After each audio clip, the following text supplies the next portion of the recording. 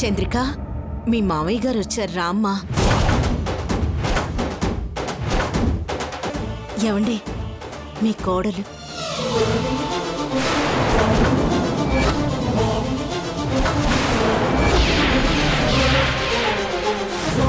రాబోయి చందమామ సోమవారం నుంచి శనివారం వరకు రాత్రి ఏడు గంటలకు మీ ఈటీవీలో.